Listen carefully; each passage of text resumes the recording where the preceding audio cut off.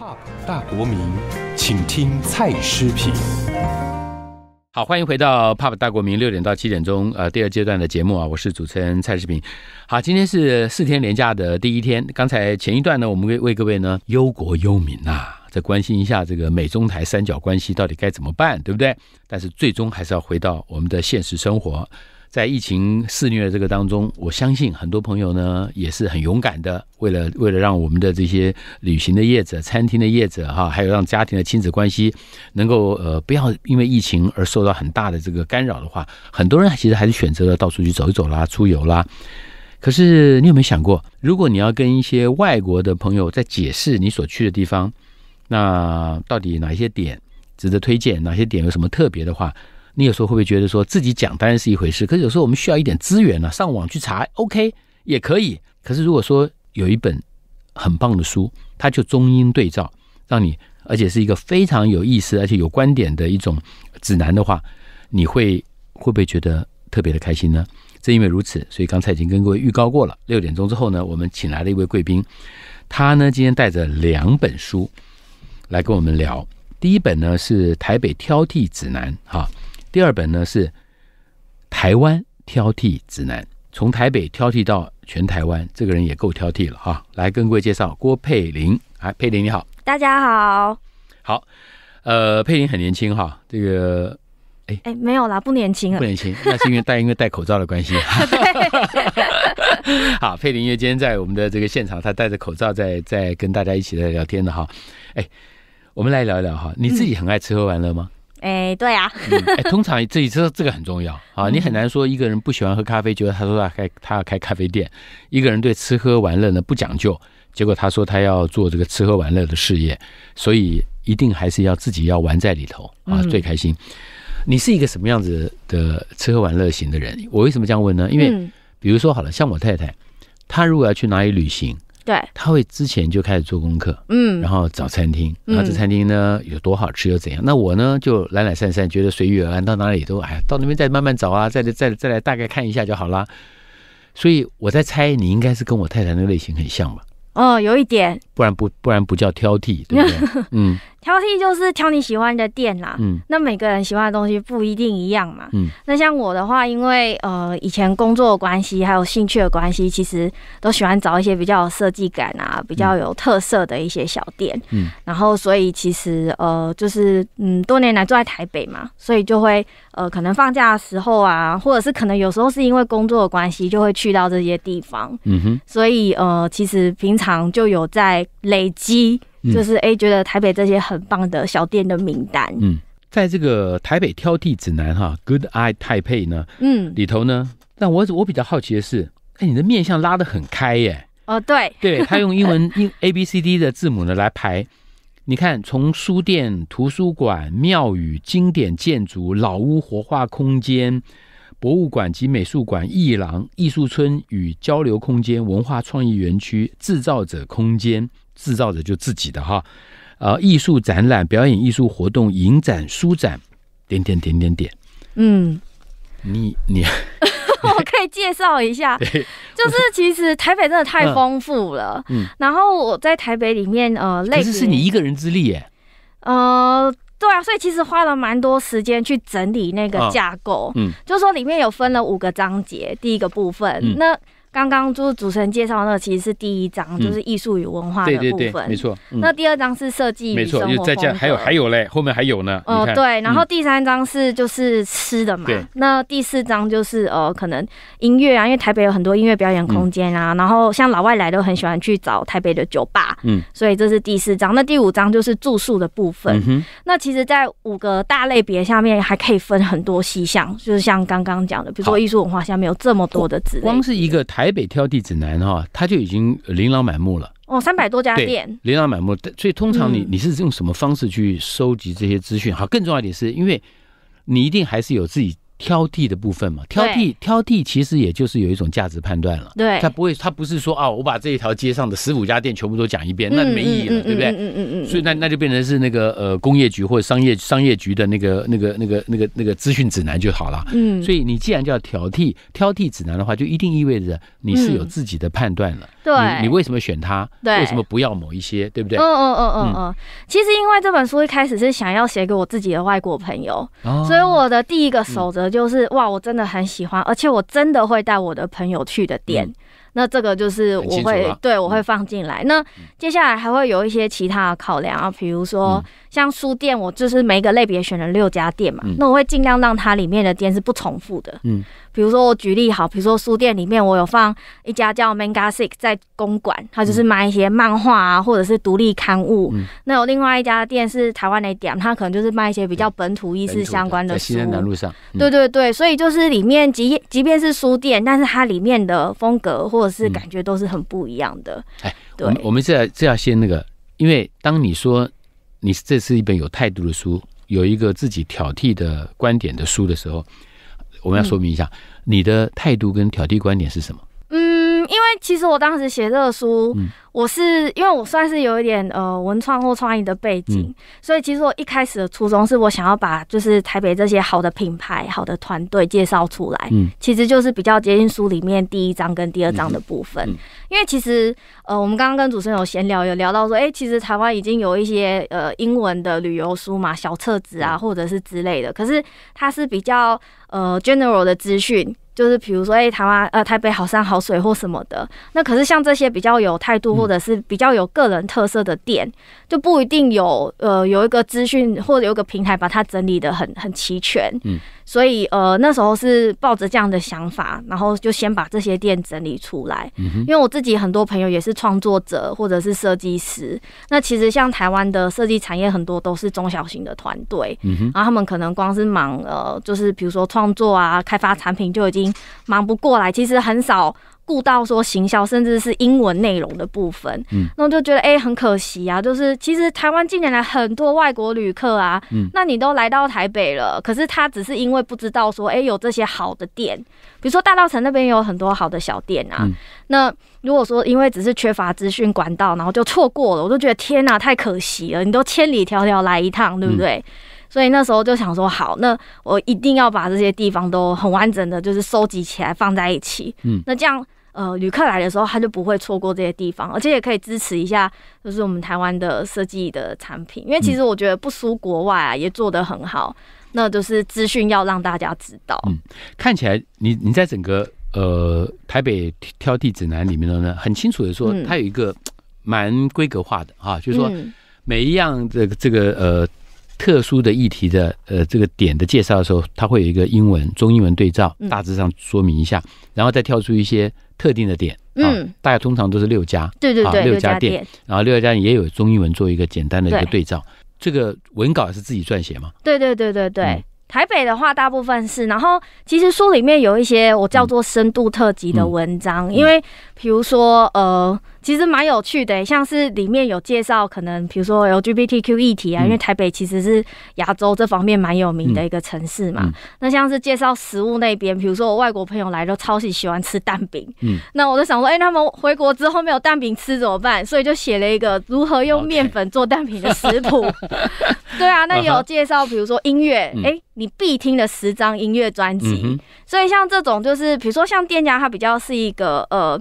呃，实体的店面，那可是有一些软体的内容，我觉得还是要补充进去，比较深度。好，这也就是这本书好看的地方哈。而且在编排上呢，这本书呃，整个的这个编排的呃方式呢，也非常的文青，非常的吸引人。各位在用手机划一下，你再划一下，你就可以大概知道说这个这本书的这个样书的模样了哈。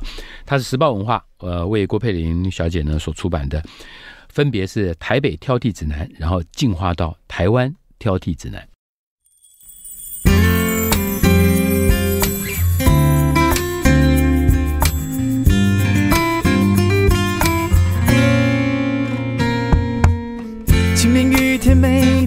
我想你，白天黑夜都要在一起，生活有你从此变得精彩有趣。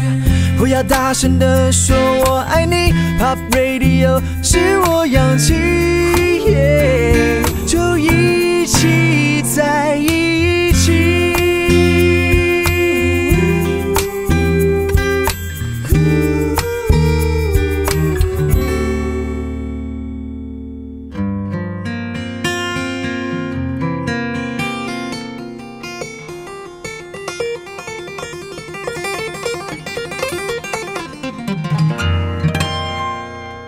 就一起在一起。好，其实我们到国外的时候也也会有类似的这个状况，我们一定会呃查一些这个相关当地的一些，包括旅馆啦，包括餐厅啦，包括一些可以去玩的 bar 啦、景点啦。那个时候你其实也是希望能够有，比如说如果我们到日本，那你如果懂日文就 OK，不懂日文的话，你当然希望有一个中文的介绍，或至少英文的呃英。英日的对照，那到别的国家也是一样，所以我们如果将心比人比心的话，回头想一想，国外的朋友来到台湾来，他一定也是希望这样嘛。他如果能够直接读中文，那我们最开心，对不对？但是他如果不能，那他显然需要一个英文的，最起码是英文的。如果将来还行有余力的话，发展出西班牙文、日文本啊、韩文本，那当然都很好。但是通常我们都假设会跨国到异域去旅行的话，他的英文基本上都还可以做一些基本的资料的阅读。那在这个状况下来讲的话，台湾挑剔指南，还有呃更早的台北挑剔指南，其实都都希望达到这样的一个目的。而他的这个作者呢，呃郭佩玲就在我们的现场。哎，所以我们继续来聊啊。好，从台北挑剔指南出来之后，你当时心目中就已经有台湾挑剔指南这样的一个接续接下去的构想了吗？有，因为其实我是台中人啊，所以就是出完台北之后，就会有人问说，哎。那你台中人，那台中嘞？台中挑剔在哪？嗯，然后所以那时候其实就有想法说，哎，那我可能要把其他重要的县市也做完。嗯，那开始进行之后，就觉得说，哎，比如说我那时候是想说，比如我可以做台中啊、台南、高雄、花东就结束。那大家想一想，哇，那这样其他县市不做好可惜哦，我都头都洗下去了，那就干脆 全部都做。对，所以就把全部县市都做完。因为你在台北待了很久，所以做台北挑剔指南的时候，其实还是有你生命历程中长期累积的，对不对？对对对。可是做到台湾挑剔指南的时候，那就有一些县市对你来说，一定是经验上是比较缺乏，或者是比较新了。错，所以这样讲好了，台北挑剔指南从真正的构想到完完成书花了多久？台北。哇！如果从你有那个想法开始，哦，那那从直接操作开始好了。哦，直接从操作开始，可能一五年，二零一五年的时候就呃有开始在动，然后真正出版是一期，一期两年。对。那还有一种状况，到一五年的时候，因为终究还是有一些资讯会变动嘛。哦，对呀。你怎么去掌握它呢？会做调整。对，所以再做一次 check。没错，出版之前我们会再检查一次，嗯，然后每一次再刷的时候，我们都会更新。那因为你看，其实店家变动很快，所以我们还有做一个 web app。嗯，那我们如果有随手资讯的更新，是可以在 app 呃 app 上面就直接调整的。嗯哼，对。所以最新的资讯会在 App 上。没错，因为有些资讯你必须做调整。我们我们就就就讲吧，台北大家最喜欢的呃成品敦南店二十四小时的，嗯，可是你对于很多的朋友来说哈，他到今年二零二零的五月底，嗯，他其实也就也就到到一个阶段了。那这种资讯如果说没有更新的话，真的有可能。老外朋友跑来，兴冲冲的跑去，一发现，哎，怎么都没了。像这种资讯，这个还是已经公告的，但是也有一些资讯，尤其是我们在这个疫情的这个当中，你看有些资讯它可能变动的非常快哈，所以还是要要请大家也可以一边看这个书，一边来也要稍微注意一下这些资讯的呃调整。当然，对作者来说，太快资讯调整你也没办法。可是像你讲的，有一个 Web 的时候，Website 的时候，它就可以做做一个补救了哈。台湾挑剔指南的时候，你是从北部开始往下走吗？还是先做中部？其实是跳着做哎，因为它每个县市的架构是一样的嘛，所以其实呃，像刚刚呃主持人有提到，就是其实这本书的协作就是团队更庞大，嗯，因为有一些县市是找就是当地的专家或者是当地的朋友一起来合作，对，所以其实没有说是按照顺序完成而，是各个县市呃就是呃随机的按照一个就是哎。觉得这个县市好像可以开始写，就就把它完成了。这样，台湾挑剔只能花多久时间？诶，可能也月末前前后后两年啦。可是因为中间有还是有做其他的事情嘛，对，只是说因为台湾的资讯量又更庞大，然后所以其的确花的时间也也久一点。不过因为已经有做台北的经验了，所以其实在沟通上面或者是制作上面都都已经有一个呃潜力可循。好，因为我们听我们广播的朋友呢，在这个大北部地区或者是在包括这个大新竹地区的朋友，对大北部大概都算是稍微熟一些。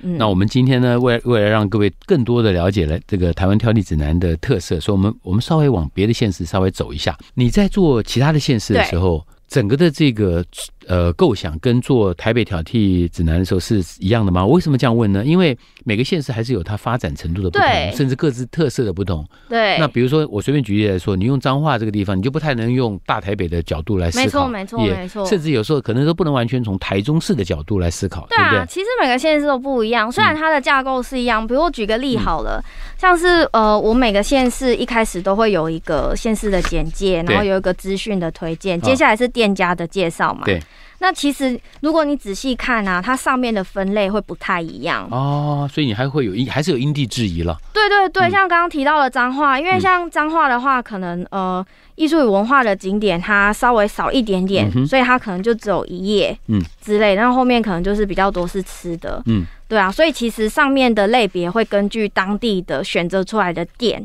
然后有一点点差别。但它但是它自己本身的这个在地的某一些文化或者历史的特色，又可能是其他的城市的都会一点的这个县市呢，又不太一样的了。对对对对对，所以这个都是有稍微做一些调整，虽然它架构看起来是一样的。嗯。对，那因为你你用的是中英文对照嘛，嗯，然后再下来是很多的店家的这个资讯，对，店家这些资讯所里面大量的运用了一些图片，是。图片的部分呢。呃，图片的话，我们一半是会跟店家要，一半我们自己拍。嗯，呃，比如说有一些像是呃选品店、书店，其实大部分店家都有自己拍的美照。嗯，那我们就可以跟他要来使用。那但是一些比较小吃类的，那那个我们就是要发摄影师去拍。嗯，因为店家可能没有照片。哦哈，对。哎，你这样子大量的跑或者大量的收集这个全台湾的挑剔指南这个资讯之后。它一定有个筛选的过程，对不对？对对对对。筛选的标准呢？呃，其实跟刚刚台北一样，对，用你自己的特特定的某种品味去判断。哦，对，然后呃，基本上，比如说刚刚除了提到说，哎，要喜欢，你要带朋友去，然后或者是说你的风格上面，呃，就是类别有一点不一样。嗯，其实因为呃，其实你出了台北或高雄，交通是一个蛮重要的旅行的一个因素，就是说，如果同样有两家店，那一家比较难抵达，那我可能就会选择交通上比较好到的点。嗯，因为比如说以外国游客来说。呃，他可能没有捷运的话，他就要哎租个脚踏车啊、机车啊之类的，他才有办法在其他的县市存活。对，所以我们会尽量选，就是像呃前面比较主观的标准筛选完之后，就会根据这些比较客观的条件。嗯，这个书的编排呢，非常的呃文青哈，所以它大概就是现在我们台湾很流行的这种文青的小日子的小确幸的这种思考的方式。书的编排呢很有意思啊，比如说我随便举一个例子，那我现在我现在随手翻一页啊，这个每一页这个页呢刚好是一个图有图的，它就是一个手绘图的台中火车站周边与旧市区，它就会从早上九点半开始，它像是列了一个这个行程表一样，叫城中路线。你只要早上九点半起床呢，他中英文对照哦哈，那来到第二市场吃个早餐肉包，然后呢三样和红茶。然后十点半的时候呢，他会建议你到日式的这个古迹台中州厅，还有台中呢市役所。然后十二点钟的时候呢，他建议你到台中的春水堂创始店，或者是中区的老店呢午餐饭后呢还有甜点名名店。下午一点半的时候呢，你可以到台中名产跟伴手礼呢去 shopping 哈。下午两点半的时候呢，你可以漫步这个绿川，顺道呢逛逛书店啊跟小店。下午四点的时候呢，你可以在台中车站的附近呢探险哈。嗯，这个。车站建筑呢，他也推荐值得一看。下午六点的时候呢，可以到余力吃晚餐，或者是在车站后头的忠孝夜市，啊，来就近解决。然后到晚上七点半的时候呢，建议你闲逛到柳川去走一走，消化一下呢，准备下个行程。八点半，他建议你呢再站一回中华夜市。九点半小酌一杯或去按摩。然后呢，这是一个行程表，它的旁右手边呢就是一张手绘图。那就会告诉你的标上面标举一二三四五六七八这个一直点到十个点呢，早上从九点半到晚上的九点半，啊，这样一路走下来。所以各位光凭这个，然后右上角有一个呃可以这个呃扫描的，哈，那换句话说，你就可以手机随时扫描，在看到这个书的时候，上面做扫描，也可以用这个书实体书呢做一个参考的样本。我刚刚讲这个目的，只是告诉大家说，它其实就给了你一个指南了，给老外朋友来台湾。去逛台中的火车站这周边的时候，一个指南，也让我们台湾的朋友，其实对我来说，哎，我对台中没那么熟的，我这样看的时候，我也可能也会当做这个参考范本，好去逛，大概就看出来你的编辑的用心了。嗯嗯，其实这个路线的部分啊，是呃，我其实本来只有想说，我就把店家整理起来就好了，嗯，然后就弄完很开心给我英国朋友看，然后他就说。哎，可是我对台北真的超级不熟的，我根本不知道怎么排路线。嗯，我就说哦这样哦，那我帮你排好了。就等于给他一个，你就等于在扮演一个线纸上或线上导游了嘛。对对对，然后呃，所以像台北我就是有排了十二条路线，那到台湾的话，我其实每个县市都有排一条或两条，嗯看那个地方。对，那像刚刚这个台中，因为我是台中人嘛，然后我我其实住旧市区，所以这条就是我生活的一个缩影。嗯哼，对。好，在我们现场的是呃，接连以台北挑剔指南跟台湾挑剔指南呢，在书市上面呃热销的哈，这个作者郭佩玲。Pop 大国民，请听蔡诗评。好，台湾到底有多美呢？我记得我以前认识一个呃非常资深的一个导游朋友啊，有一次我们在聊天的时候，他突然间就更正我，他说：“哎，视频，他说你不能这样讲，为什么他要更正我呢？因为我有时候就会跟他讲说，哎，我说你你你你把那些老外朋友带到台北来，我说那些点不就是这样子吗？对不对？一天在我来看，一天多就就就玩差不多了。他就跟我说，哎，视频你不能这样想，你要反过来想，对一个从来没来过台北的人来讲。”他的好奇心就跟你在台北生活这么久的完全不一样了。他说，比如说，他把它放到故宫，搞不好对方就在故宫待一整天啊，不像我们在故宫可能就是走马看花，半天我们就跑掉了。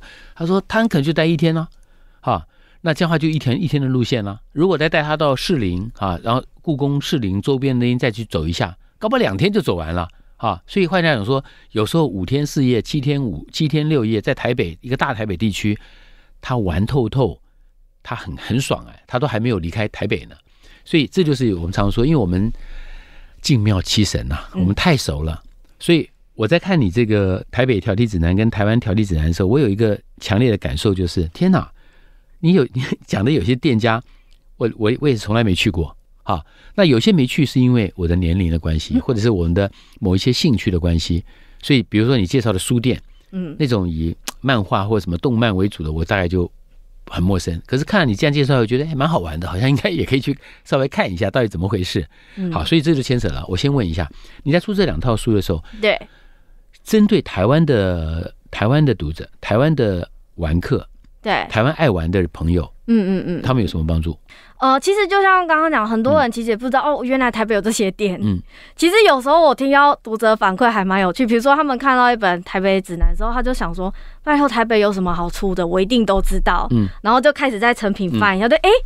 这家店我怎么不知道？有 就是他可能还在他家附近，他他也不知道。然后他就说：“天哪，那就要买回去看一下，自己探索一下。”然后台湾读者就是常常有这种反应，还蛮有趣。那像是外国人的话，因为呃，其实他们可能呃，真的是对台北没有太多的印象。那所以其实这本书对他们来说，就是呃可以一次性的看到很完整的资讯，然后对他们也是蛮大的帮助。嗯哼，对，所以我觉得对于本地人或者是对于外国游客来说，都有一个蛮大的帮助。我跟各位说哈，一样哈，比如说我随手翻一页，呃，翻到这个呃台北挑剔指南，他呢翻到这个啤酒屋这一章，他一样。它也是有一个基本的一个啤酒屋的呃这个英中英文对照的一个简单的解释，然后他介绍了六家的店。这六家店呢，我不瞒各位讲哈，我好像只知道一家，其他的几家我好像还没去过嘞哈。我虽然很爱喝这种精酿啤酒，但我还不晓得说台北还真这么多精酿啤酒。然后更重要一点是，他在后面呢接着列下了台湾酒知多少哈，会介绍呢台湾的这些包括台湾啤酒、小米酒、红标米酒、粗雾烧酎。啊，然后这个金门高粱、格马兰威士忌，然后呢，更有趣的，我在这个日本的这个有一些杂志上看过他们教你怎么样到东京的时候去喝日本的清酒。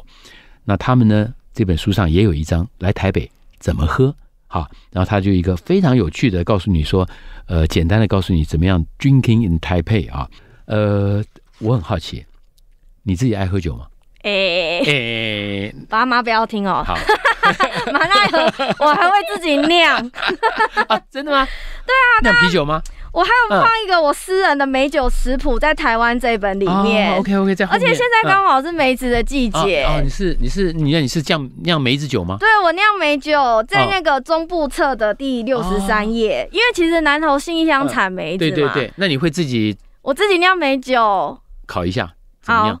我跟你说，其实原料非常简单，其实它就只需要就是梅子梅子，然后酒跟糖，酒跟糖嘛。对，然后它的比例就是一比零点五比零点五。你是用在放在什么什么样的玻璃罐容器里面？玻璃罐。对。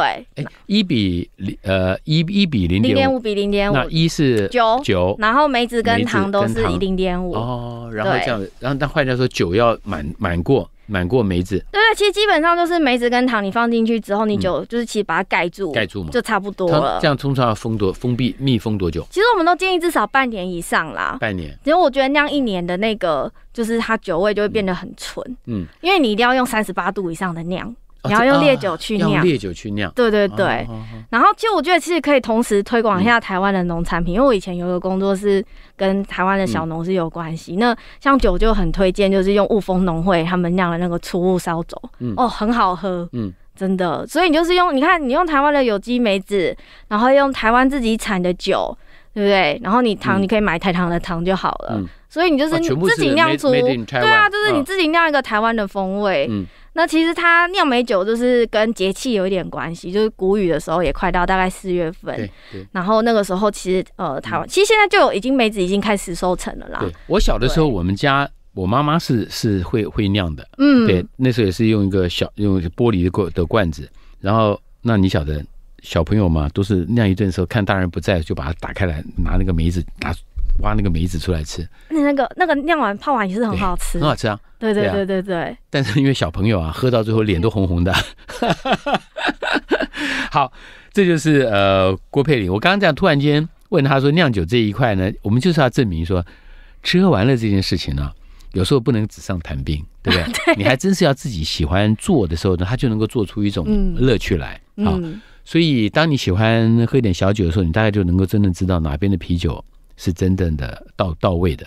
我有一次，我有一年去日本跑了马拉松，在奈良。然后我们我们几个朋友跑完以后呢，我们就在找，在那个他那个场边有很多的饮料会提供，我们就在找。然后我们找到一家日本的那个那个限量的那个啤酒。哇塞！你要跑完了马拉松之后，喝一大罐、一大瓶五百 CC 的那个那个啤酒，那啤酒呢，那个又细。它倒出来以后，上面其实没什么泡沫的，嗯，就是那个酒一入口的时候，就整个非常的细。你第一个反应就是天哪，这个水质真好，这个啤酒的水真好。所以我觉得这是一种乐趣了。对啊，就是一种人生的乐趣，也是旅行的乐趣。嗯，旅旅行乐趣，你找到一家很棒的店，找到一个很棒的店，坐下来好好的吃个饭，然后呢，好好的喝一点东西。那郭佩玲的这一套台北挑剔指南跟台湾挑剔指南，大概都达到这样一个目的了啊。哎，通常了哈，嗯。我老外朋友来的时候，他们如果在海外的话，要进要先进来，他们怎么知道你这套书呢？其实很多都是朋友送给他们的哦。对，然后呃，以现在目前的通货来说的话，就是新马、港澳都有。新马港对，然后欧美的话，很多都是朋友买来寄给他们。嗯。对，因为现在的确欧美那边可能还没有通路，那我们现在正在努力，就是看可不可以就是在欧美的通路上面去反售。嗯对，但是真的很多，就是因为像是呃，因为你看他一呃，有的人比如说送国外朋友，以前会送凤梨酥，嗯，然后现在都说，那你送凤梨酥不如送他一本书。对不对？就是里面有更多资讯，然后他可以安排他的行程。嗯，然后我知道有一些人是因为哇，朋友来要当地陪很累。嗯，那我就直接书丢给你，你自己照着书走，然后就是可以轻松一点，这样对啊。所以我觉得送书是一个蛮好的选择。我的第一个想法也是哈，就是说如果朋友来，你你真的也没空完全陪他的话，或者是你也没必要陪他，因为你有时候很多点你也不见得很熟。那你可能真的就可以说，他来了之后，来之前你送一套这个书给他，然后他来了之后呢，你可能请他吃个饭，然后呢有一个第一天的行程，你陪他走个一两个点，然后就可以让他凭着这个书去找这个相关的资讯了啊。我觉得这个是大概呃。Good Eye 台北跟 Good Eye 台湾呢，那个呃，台湾挑剔指南跟台北挑剔指南呢，最有意思的地方了啊！哎，自己这样做完之后，我们常说教学相长，教学相长。对，哎，你自己这样在做完这一套以后，嗯，你自己大概也也对于台北或者是台湾的这个挑剔的这些店家，嗯，也是更上一层楼吧？那啊，其实我真的觉得台湾非常的丰富有趣啊，因为我自己其实很爱爬爬照啦。就是在疫情之前，我常常出国玩或什么的，就是走一圈，其实都会发现还是台湾最好、最有趣啊。嗯哼所以不管是吃的，然后便利性啊，然后就是，比如说像以前我是在英国念书嘛，那你很多店可能晚上就都没有开啦，然后所以你也有时候也不知道要干嘛。就是其实我真的觉得，不管是你在国外生活过或旅行过，就是我觉得大家都会更珍惜呃台湾这个地方。嗯，那像。就是之之前会做书，也是因为像呃，刚刚主持人有提到，它就是设计还蛮特别的。其实国外很多大的城市都有像这样子的，我们叫 design guide，对对对，就是一个比较有设计感的旅游书。那我就觉得说，哎，其实我们超级有本钱去做一本这样子的书，嗯，可是都我不知道为什么，好像还没有人就是去去做这件事情。但我做了之后，我就知道为什么，因为成本太贵。对对对，那耗费很多很多的心力时间，然后还有你要投入蛮多的资源。对，可是问题是对这个创作者来说的话，他自己的成长也是很难以很难以用言语来形容的，对不对？对啊。就是其实真的呃会了解多了解很多事情，因为你虽然说你已经知道说哎我要放哪些店，可是你在写文字的时候，你还是需要做很多资料的查证，嗯，或者是说你要去多呃可能还要去采访这些店家之类，所以你你相同的你也会获得非常多的东西。那我也是尽量尽量希望把这些东西也都放到书里面，所以让大家也可以同样获得这些资讯。嗯，对。好，在我们现场的是郭佩玲带来了。他非常挑剔的《台北挑剔指南》以及《台湾挑剔指南》都是由时报文化出版的。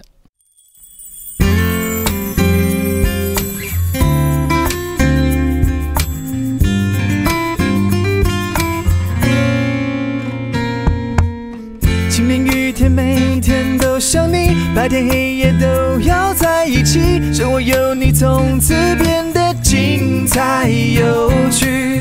不要大声的说我爱你，Pop Radio 是我氧气，就一起在一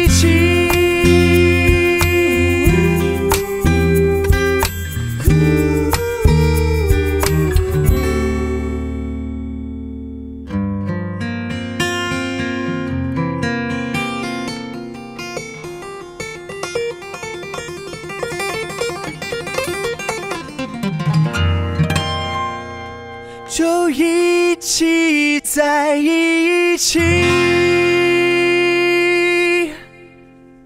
好，二十个台湾县市与离岛，四百五十家优质的好店，五十篇深度的特辑，Web App 的搭配旅行，还有二十一条旅游路线，一颗爱台湾的心。这个一颗爱台湾的心，就是郭佩玲啊，全新的著作。哎，这个书卖呃，市场反应相当的好啊。你觉得为什么？感谢感谢。你觉得为什么？我觉得可能一方面，呃，它是中英文资讯，这个蛮重要。然后另外一方面，它设计它的设计感真的也不错，有设计感的书了，对对对是。然后呃，因为我觉得是市场有这个需求啦。因为其实我们老实说，我们也是有一点压抑，因为台北那本呃当时出的时候，我们也本来是想说，哎，是不是走文青会买？你都没有想过，没有想到说他反应这么好，对不对？对啊，对啊，就是就是想说，哎，是不是可能比较是我们这个族群的人才会才会去购买？但发现没有，其实很多人。然后像我还有朋友，我刚刚才听到，就是朋友买来送妈妈，因为就是妈妈退休了嘛，然后她常常跟就是阿姨们一起出去玩。所以她其实也有把这个书就是送给他妈妈，她妈妈也很喜欢。嗯他妈妈没有说要求哎，你家谁？是不是那么小啊？哈 对对，有啦有了，不好意思不好意思。没有，因为他他的编排方式其实就是很文青的风格。各位如果常看这个国外的这些旅游书的话，他们的有时候他们字也不是很大的，嗯嗯啊，他们因为他主要是要要要做很多的相关的资讯在上面嘛，啊，所以大概这个编排方式可以很清楚的来理解。呃，可是市场反应这么好之后，所以才会有台北条例指南，然后再接着有台湾条例指南嘛。对，再下来呢？哦，再下来，再下来，你有没有想过挑战什么呢？再下来可能就出别的国家吧，没有啦，可能离岛可以做的完整一点啦。因为你的离岛这次只是在后面东部的这个有一些那个附附附加的一个就，那因为我们讲离岛的话，各位想想，金门、马祖、澎湖、绿岛、小琉球，嗯，蓝屿、蓝屿，嗯，哎，其实也不少哎。对啊，其实如果要做做成离岛专书的话，也是很好的哈。一本就是集中在一本上面，这篇幅也是够的了。对，现在是跟东部放在一起了。嗯，有有这样考虑吗？呃，如果说读者捧场，让我们再刷的话，嗯，就可以。呃，一定的啦哈，因为台北条例指南其实市场反应相当的好，那接下来才有一个台湾条例指南嘛。哎，呃，旅行最大的好处，或者是说到处不管这旅行是国内旅行还是国际旅国外的旅行啊，这种旅行你觉得最大意义和最大好处是什么？你个人的体会？嗯，对我来说就是。因为我觉得有时候，比如说你在一个地方生活久了，你可能你的生活模式或者是你的想法就蛮固定的。那你离开一个地方，去一个新的国家或新的城市，有时候会打破你原本生活的惯性，然后会刺激你的思考，这是对我而言最重要的部分。嗯，因为像我呃以前在英国念书嘛，所以我有很多印度朋友。那所以我其实之前去印度玩了蛮多趟，然后每次去都觉得哇，就是。各种感官的刺激，然后就是会让你觉得很很兴奋，然后嗯，就是你也会触发你思考，因为印度真的是一个很很很。不管各个方面都可以带给你很大冲击的地方，那其实你去其他地方也或多或少会有这种不同程度的感受。而且有时候亲自到一个地方去旅行，你会打破很多的偏见，对不对？嗯。比如说我刚刚提到印度，可能很多朋友还没去印度，可能就脑海中充满了各种的呃呃呃以讹传讹的各种的偏见。可你自己去看，对，你的感受可能就完全不同了。对啊，这个其实是旅行最大的，所以说才会说读万卷书不如行万里路嘛。嗯。啊，这是旅行最大的意义了。另外一个还就是。呃，写旅行书，嗯，我们我们来稍微在最后一点点结尾了，让各位来感受一下自己去旅行跟写出来，把它写出来，你会发现到这中间有一个很大的落差，哎，对，因为很多人常会觉得说玩归玩呢，你要我自己写一篇游记，或者把这边很很很清楚的介绍一下我整个的这个行程，哎，就觉得哇塞，很辛苦了。没错，所以它其实写作是一种训练，对不对？等于是让你让你更精准的去回顾你整个的这个旅行的过程当中，你看到了什么，体会了什么。嗯嗯嗯，其实角度不一样。如果你去看市面上的旅游书，我我个人呢，我大概把它分成两类，一类就是比较个人心得式的，嗯，它可能是散文。嗯，那像我话，它比较偏旅游工具书。嗯，所以我的重点是我希望可以呃，很精准的提供给大家。对，就是收集最完整的资讯，然后。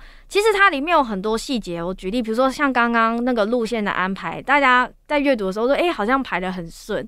但其实我们在制作的时候，我们要先把这些点放到 Google Map，看怎么走比较顺，对不对？反复的去研究。对，你要反复去去呃去仔细的去去观察，然后而且你还要注意到，就是说，比如说你现在走起来很顺，然后结果你就发现，哎，这个时间这个点没开，嗯，所以你可能路线又要有调整。走的顺之外，还要考虑到那个呃营业的时营业的时间，还有那个它的那个彼此之间搭配的性质。如果说你晓得，有时候你在一个早上走两三个点都差不多，那最倒霉的是第三个点，因为第三个点大家都已经觉得，哎呀，其实差不多嘛，跟前面，所以你不能这样搭，对不对？对，你一定是要让它有跳跃式的这种变化，他才会好奇嘛，他才会开心。对，这个我这个心得是我以前年轻的时候去印度做一个节目，呃，不去这讲错了，去埃及做一个节目。我们没骗你，连续前面几天都在走尼罗河沿岸的神庙，走到差不多第二天、第三天的时候，我就听到我们同团的有一些人，哎呦，天刚被戏嘞，弄起弄起坑黑的西朗骨头哎，我下面好狂哎！你晓得第一天还很还很开心哦，很嗨，第二天哦又神庙，第三天还神庙，他就累了，嗯，所以我就注意到说啊，旅行的点的安排其实蛮重要的，对啊，你如果让他同质性的东西太密集，他会累。没错，所以他其实有很多的气化在里面，就是你直接读的时候，其实那些资讯已经是被整理消化过的，所以你会觉得哎，好像蛮顺的，可以这样走。嗯，但其实我们制作的过程很痛苦。好，恭喜啦！恭喜时报文化这个赵志明赵董啊，恭喜你了！这个作者呢，下着下次的第三本书一定会更精彩、更为精彩，因为他已经很清楚的知道该怎么写了。离岛台湾离岛挑剔手册啊，不要先跟董事长台湾离岛挑剔指南。好，在这个假日的同时呢，非常谢谢哈这个郭佩玲。哎，你有没有想过，当疫情如果告一个段落的时候，是你要去哪里玩？呃，我你有想过？我可能这叫做报复式的行销，报复式的消费，你会想去哪里？当然还是要台湾先走一下啦。但是如果是国外的话，呃，我应该会去一趟欧洲。嗯哼，对对对，因为其实看看经过日日疫情肆虐之后满目疮痍的欧洲，如何在。在在痛苦跟辛苦当中重新再站起来，哎，这真的也蛮辛苦的哈。嗯，无论如何，我想我们今天一方面给家大家加油打气了，就算暂时不能出国，不能够到处拍拍照，你手上拿一本《台北挑剔指南》《台湾挑剔指南》，我们也可以神游啊，是不是？我们就神游到了马祖，神游到了台中，神游到了台南。当然了，台南市长或者是台中市长可能会跟你跟你说，戴着口罩来吧，没关系了，来了哈。感谢感谢郭佩玲，谢谢谢谢。